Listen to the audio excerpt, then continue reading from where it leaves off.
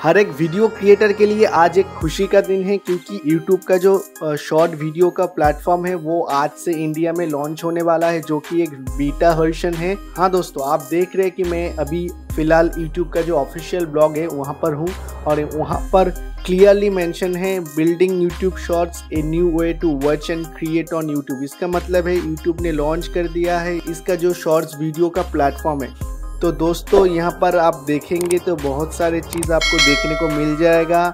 ये जो user interface है, वो काफ़ी हद तक टिकटॉक जैसा ही है। तो दोस्तों, यहाँ पर आप देख सकते हैं जो इंटरफेस है, वहाँ पर आप म्यूज़िक ऐड कर सकते हो स्पीड कंट्रोल कर सकते हो टाइमर भी सेट कर सकते हो। हाँ दोस्तों, ये वीडियो आपका जो शॉर्ट्स वीडियो होने वाला है, वो 18 सेकेंड्स के नीचे होना चाहिए। एंड uh, आपको यहाँ पर दिख जाएगा कि यहाँ पर आप मल्टी सेगमेंट कैमरा का यूज़ कर सकते हो रिकॉर्ड कर सकते हो स्पीड कंट्रोल कर सकते हो एंड टाइमर एंड काउंटडाउन का फ़ंक्शन भी इजीली यूज़ कर सकते हो।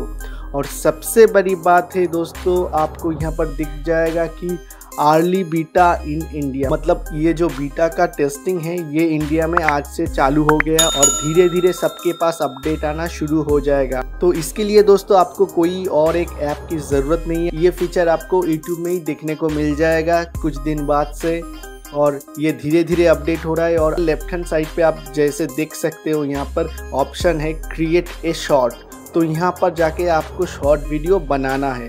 फ़िलहाल आपके पास अपडेट आ जाएगा तो आप इसको कर सकते हो।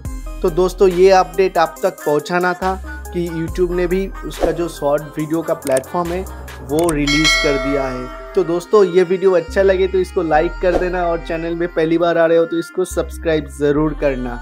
तो दोस्तों, तब तक के लिए जय हिंद।